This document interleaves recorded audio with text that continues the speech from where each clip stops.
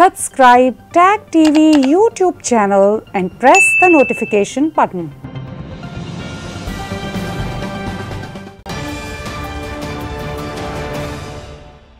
असलम नाजरीन tag TV के Pakistan studio के साथ मैं हूँ रुखसा शहजाद सबसे पहले शामिल करते हैं न्यूज़ हेडलाइंस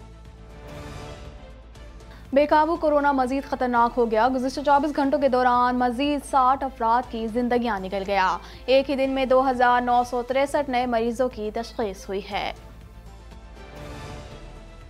बदनवानी के खिलाफ जंग सिर्फ़ नैब नहीं, सबकी मुश्तरक ज़िम्मेदारी है। सदर ममलिकत कहते हैं, बदनवानी के खात्मे के लिए कवानीन पर सख्ती से अमल पैरा होने की ज़रूरत है।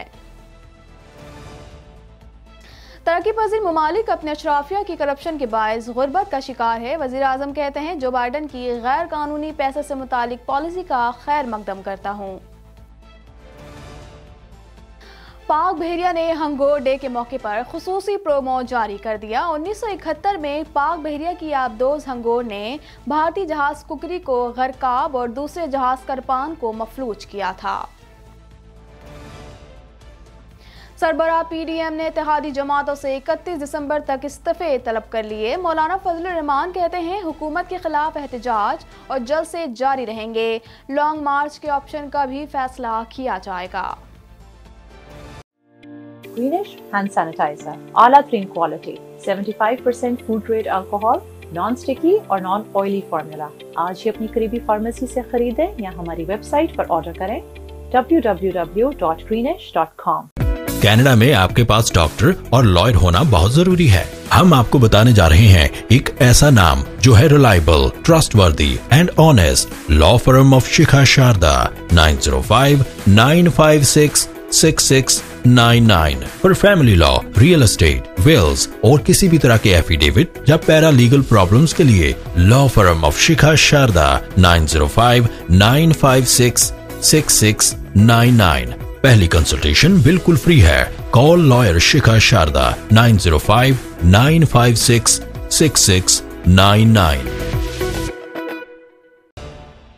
corona virus से साठ अफराद जाम बहक हो गए, जिसके बाद अमवात की तादाद आठ हज़ार पाँच सौ सैंतालीस हो गई। पाकिस्तान में कोरोना के तस्दीक शुदा केसेस की तादाद चार लाख छब्बीस हज़ार एक सौ बयालीस हो गई। मजीद जानते हैं इस रिपोर्ट में। National command and operation centre के ताज़ा तरीन आदात शुमार के मुताबिक गुजशत 24 घंटों के दौरान दो हज़ार नौ सौ तिरसठ नए केसेस रिपोर्ट हुए।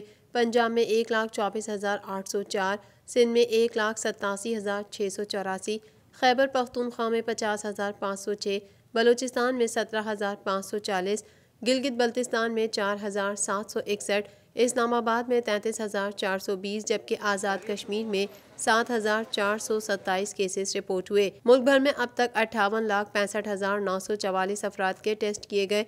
गुजशत चौबीस घंटों के दौरान अड़तीस हज़ार बानवे नए टेस्ट किए गए। अब तक तीन लाख बहत्तर हज़ार दो सौ इकहत्तर मरीज़ सेहतियाब हो चुके हैं, जबकि दो हज़ार चार सौ अट्ठानवे मरीजों की हालत तशवीशनाक है। पाकिस्तान में कोरोना से एक दिन में साठ अफराद जाबहक हुए, जिसके बाद वायरस से मरने वालों की तादाद आठ हज़ार पाँच सौ सैंतालीस हो गई। पंजाब में तीन हज़ार दो सौ बयालीस, सिंध में तीन हज़ार इक्यासी, खैबर पख्तूनख्वा में एक हज़ार चार सौ उनतीस, इस्लामाबाद में तीन सौ पैंतालीस, बलोचिस्तान में एक सौ सत्तर, गिलगित बल्तिस्तान में अट्ठानवे और आज़ाद कश्मीर में एक सौ बयासी मरीज़ जान से हाथ धो बैठे। सदर ममलिका डॉक्टर आरिफ अलवी ने कहा है कि माशरे को बदनवानी के कल्चर को जड़ से उखाड़ने के लिए हुकूमत की कोशिशों में भरपूर साथ देना चाहिए। आवाम बदनवान अनासर के खिलाफ कार्रवाई के लिए मुतल इदारों को मुतला करे। मजीद जानते हैं इस रिपोर्ट में। सदर ममलिका डॉक्टर आरिफ अलवी ने इंसदाद बदनवानी के आलमी दिन पर पैगाम में कहा है कि पाकिस्तान ने अकवा मुतहदा के इंसदाद बदनवानी के कन्वेंशन समेत दीगर बैन अवी कन्वेंशन पर अमल दरामद के लिए कई इकदाम किए। हमें मुल्क में बदनवानी के ख़ात्मे के लिए कवानीन के जायजे और उन पर सख्ती से अमल पैरा होने की ज़रूरत है। सदर आरिफ अलवी ने कहा कि पूरी कौम को मुतहद होकर करप्शन के खिलाफ जहाद में हुकूमत का साथ देना चाहिए। इस दिन हम अपने निज़ाम से बदनवानी के खात्मे, शफाफियत और एहतसाब के फ़रोग के अज़म का अदा करते हैं। बदनवानी मीशत के लिए तबाह कन और मुल्क में समाजी और माशी अदम तोज़न का बायस है। सदर आरिफ अलवी का कहना था कि करप्शन के नासूर से निमटने के लिए पाकिस्तान ने सख्त एहतसाब के निज़ाम पर अमल करते हुए मौसर इकदाम किए हैं। बदनवानी की लानत से मुतालिक आगाही पैदा करने की ज़रूरत है। मीडिया आला इखलाकी इकदार के फ़रोग में अहम किरदार अदा कर सकता है। वज़ीर अजम इमरान खान का कहना है कि तरक्की पजीर ममालिक में गुर्बत की वजह उनके करप्ट अशराफियाँ हैं, क्योंकि करप्ट अशराफिया लूटी दौलत ऑफ़ शोर टैक्स हेवंस में मुंतकिल करते हैं। मजीद जानते हैं इस रिपोर्ट में। वज़ीर अजम इमरान खान का कहना है कि तरक्की पजीर ममालिक के बासर लोगों ने दौलत अमीर ममालिक में जमा कर रखी है। समाजी रबते की वेबसाइट ट्विटर पर अपने ट्वीट में वज़ीर अजम इमरान खान का कहना था कि मैं नाजायज़ दौलत को हदफ बनाने के हवाले से मुंतब अमरीकी सदर जो बाइडन के अजायम का खैर मकदम करता हूँ। वज़ीर अजम ने कहा कि तरक्की पजीर ममालिक अपनी बदनवान अशराफिया की करप्शन के बायस गुरबत का शिकार हैं। तरक्की पजीर ममालिक के बासर अफराद मनी लॉन्ड्रिंग के ज़रिए दौलत अमीर मुल्कों और टैक्स चोरी के गैर मुल्की ठिकानों में मुंतकिल करते हैं। इन्हीं की वजह से ये ममालिक मुफलिसी के घाट उतारे जा रहे हैं। पाक बहरिया ने हंगोर डे के मौके पर खसूस प्रोमो जारी कर दिया। तर्जुमान पाक बहरिया के मुताबिक प्रोमो में शहदा और गाजियों को खराज अकीदत पेश करने के साथ साथ पाक बहरिया की आबदोस हंगोर्स की दुश्मन के खिलाफ लाजवाल कामयाबी को उजागर किया गया है। इस हवाले से मजीद जानते हैं। पाक बहरिया ने हंगोर डे के मौके पर खसूसी प्रोमो जारी कर दिया। तर्जुमान पाक बहरिया के मुताबिक प्रोमो में शहदा और गाजियों को खराज अकीदत पेश करने के साथ साथ पाक बहरिया की आबदोस हंगोर की दुश्मन के खिलाफ लाजवाल कामयाबी को उजागर किया गया है। उन्नीस सौ इकहत्तर की जंग में पाक बहरिया की आबदोस हंगोर ने बहादुरी की अजीम तारीख रकम की। उन्नीस सौ इकहत्तर में पाक बहरिया की आबदोस हंगोर ने भारतीय बहरिया के जंगी जहाज़ ककरी को गरकाब किया। और दूसरे जहाज़ करपान को मफलूज कर दिया। दूसरी जंग अजीम के बाद ये पहला वाक़ है जिसमें किसी आबदोज ने बहरी जहाज़ को नस्तो नाबूद किया। बहरी मार्कों में पाक बहरिया की आबदोज हंगोर का ये कारनामा हमारे दुश्मनों को कभी न भूलेगा। पाक बहरिया की जानब से 4 मार्च 2019 को दुश्मन की आबदोज का सुराख लगाकर उसे अपने पानियों में वापस धकेल देने का वाक़ भी दुश्मन के लिए शदीद हजीमत का बायस है। पाकिस्तान डेमोक्रेटिक मूवमेंट ने अपोजिशन की बेंचों से मुस्ताफ़ी होने की हमत अमली तैयार कर ली, जिसके लिए सरबरा ने इतिहाद में शामिल तमाम जमातों के अरकान से इकतीस दिसंबर तक इस्तीफ़े मांग लिए। मजीद जानते हैं इस रिपोर्ट में।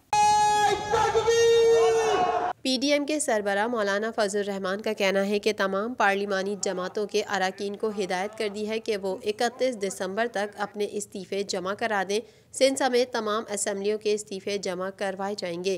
फजल रहमान का कहना था कि पी डी एम इजलास में हुकूमत के खिलाफ एहतजाजी मुजाहरों को जारी रखने का फैसला किया गया है। शटर डाउन हड़ताल एहतजाजी मुजाहरों, मुल्क के मुख्तलिफ़ हिस्सों में जलसों का शेड्यूल तय किया जाएगा और साथ ही ये फैसला भी किया जाएगा कि इस्लामाबाद में लॉन्ग मार्च कब किया जाए। कल स्टेयरिंग कमेटी का इजलास होगा, जिसमें पहिया जाम हड़ताल, रैलियों को हतमी शक्ल दी जाएगी। सरबरा पीडीएम ने कहा कि मुस्तकिल मिजाजी के साथ हम अपने मामला को आगे बढ़ा रहे हैं। आवाम को मायूस नहीं करेंगे। आवाम का अतमाद ख़राब नहीं करेंगे। लाहौर का जलसा तारीखी होगा और ये जलसा हुकूमत के ताबूत में आखिरी कील साबित होगा। गिरफ्तारियाँ देने के सवाल पर उन्होंने कहा, हमने सोचा भी नहीं कि गिरफ्तारी क्या चीज़ है। हुकूमत की कुर्सी की चौले हिल चुकी हैं। बस एक धक्का देने की ज़रूरत है। इस्तीफे दिए तो थूक कर नहीं चाटेंगे